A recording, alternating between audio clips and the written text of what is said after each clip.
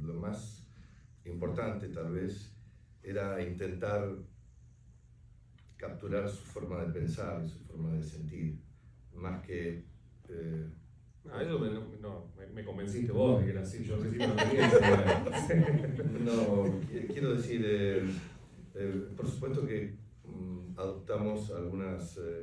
características de su personalidad que nos parecieron atractivas desde todo punto de vista, humana y cinematográficamente, pero creo que nos centramos más específicamente en tratar de percibir cómo, cómo sentía las cosas y cómo, cómo pensaba al respecto.